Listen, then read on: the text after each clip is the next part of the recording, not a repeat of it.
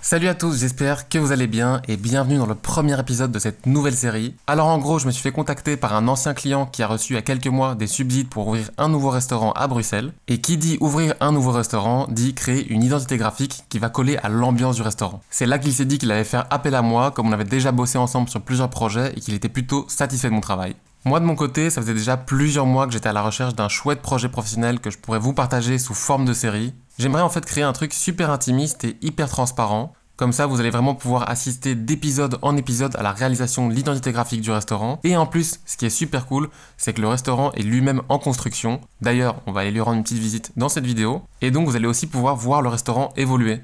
Quand j'ai parlé de ce concept de série à mon client, il était très chaud, donc je suis super content de pouvoir commencer ça aujourd'hui. Ça va d'ailleurs mettre un petit peu la pression, parce que pour l'instant, je sais pas du tout où je vais et j'ai pas envie de vous décevoir. Donc je vais devoir mettre la barre haute et me donner à fond pour avoir un résultat final au top et être fier d'avoir pu partager ça avec vous. Le restaurant, il s'appelle le Joy, donc joie en anglais, et je vais rapidement vous lire un petit texte de présentation du restaurant, comme ça vous captez un petit peu le mood du restaurant. Alors, la convivialité est le pilier de ce nouveau concept, des plats à partager qui vous transporteront dans un voyage culinaire revisitant la cuisine européenne à travers des subtiles notes asiatiques, africaines ou bien encore latines. La carte évoluera au fil de la journée, vous permettant de déguster à toute heure une cuisine saine et tout aussi gourmande, débutant par un lunch et se terminant autour d'une bière artisanale ou d'un cocktail. Le week-end, des brunchs seront également servis. Ça donne pas envie ça? Bon, assez de blabla, je vous en dis pas plus pour l'instant, et encore une fois, bienvenue dans ce premier épisode.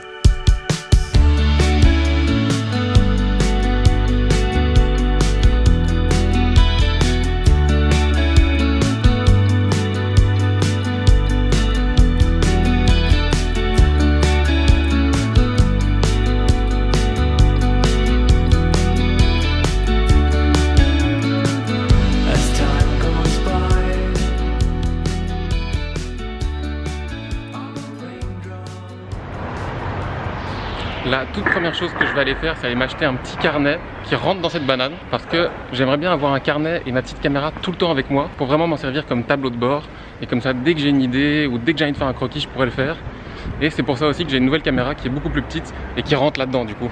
Comme ça, euh, ça sera vraiment mon petit confessionnal, la caméra. Donc voilà, là on arrive au Schleiper, c'est un petit magasin à Bruxelles qui vend plein de matériel artistique. Ceux qui habitent ici connaissent. Donc j'espère que je vais trouver un truc assez petit et qui soit pratique en fait. C'est parti.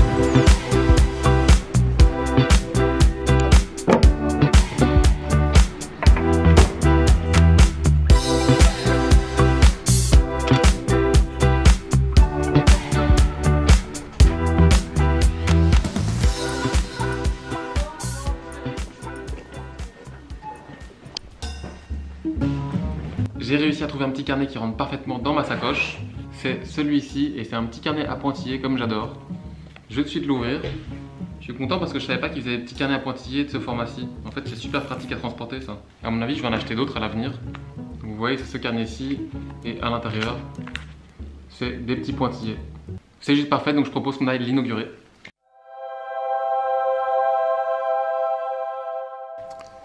On va commencer par inaugurer le carnet en inscrivant dedans la to-do list. Qu'est-ce qu'il y a à faire pour le restaurant? Évidemment, il y a l'identité qui reprend, elle, le logo, carte de visite,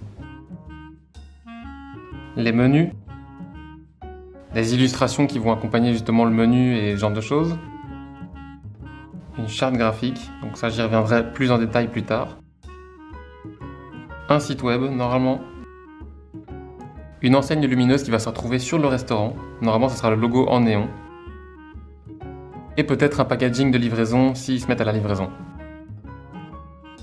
Ici, je vais mettre entre parenthèses affiche parce que peut-être qu'il y aura des afterwork et que je vais pouvoir faire des illustrations qui seront en rapport avec le monde un peu de l'afterwork, donc des petits cocktails, etc. et qui pourront être intégrés à des templates d'affiches. Donc ça, je le mets entre parenthèses pour l'instant. Ok, donc j'ai mon carnet, la to-do list, elle est faite et maintenant, je vous propose qu'on aille sur place pour aller enfin visiter le lieu. C'est parti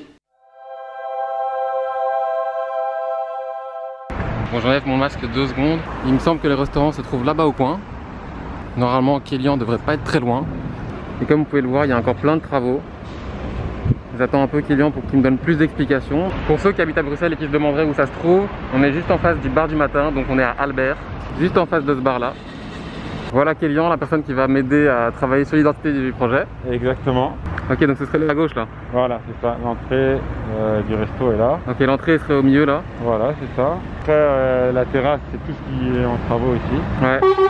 Comme tu peux le voir, c'est assez grand. Ouais, mais il y a blindé de, de travaux quoi. Ouais, là, c'est un gros chantier, mais euh, d'ici un mois, un mois et demi, euh, ça va de- devenir nickel.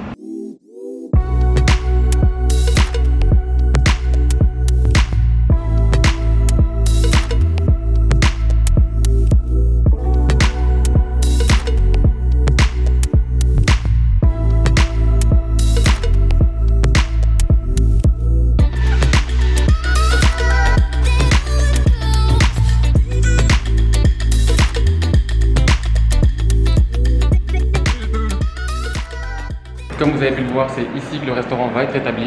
Et là-bas à l'entrée, c'est là que va être installé les tables pour que les gens puissent venir manger. C'est super cool, j'ai hâte d'être au dernier épisode pour voir le résultat final. Maintenant qu'on a vu le restaurant, de retour à la maison.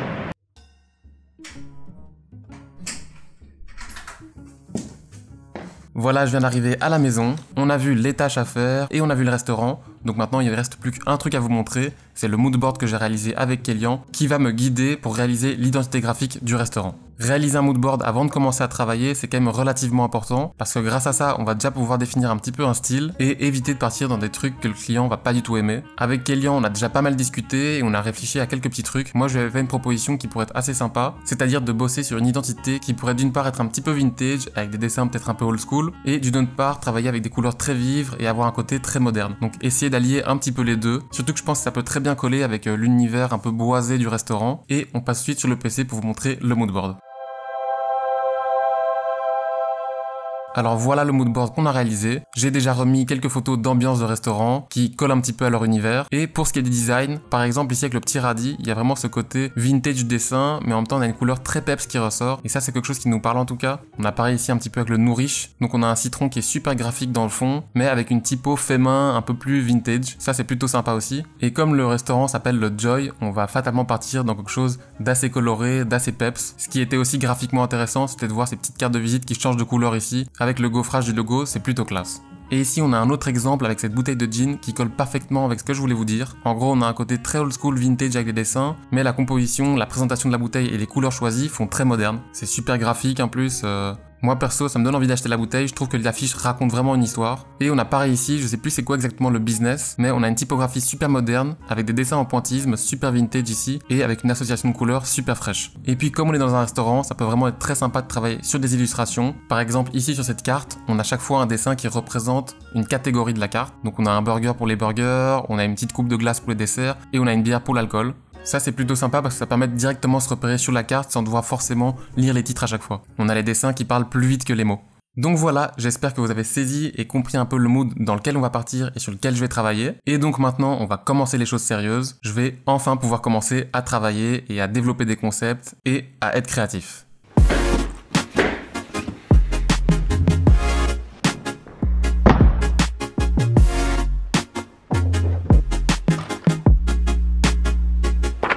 Mais malheureusement, vous verrez la suite dans l'épisode numéro 2 qui sort la semaine prochaine. Voilà, ce premier épisode c'était vraiment pour vous montrer les bases, vous montrer sur quoi on allait travailler. Et dès le deuxième épisode, on rentre vraiment dans les choses sérieuses. J'espère que ça vous a plu. N'hésitez pas à me donner vos avis dans les commentaires. J'ai hâte de voir vos retours. N'hésitez pas à venir me suivre sur mes réseaux comme Twitter ou Instagram. Et moi, je vous donne rendez-vous la semaine prochaine dans la prochaine vidéo.